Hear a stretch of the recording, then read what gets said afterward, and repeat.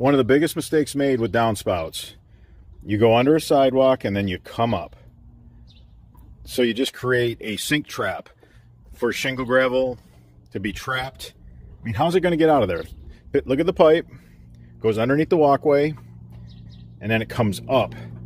And they just put a four inch grate instead of a nice big pop up that leaves can come out of. You're even going to trap organic material. So, how do we improve on this? Okay, so we have a really good slope going out to the street. So, this was a bad decision to come this way. We need to go that way so that we have some drop.